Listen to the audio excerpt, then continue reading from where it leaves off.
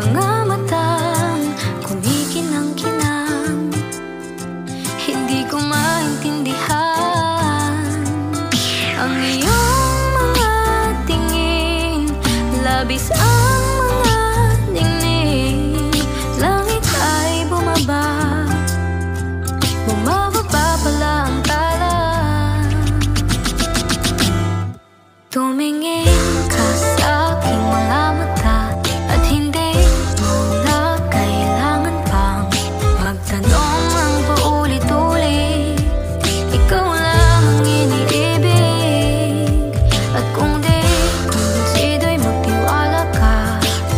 now.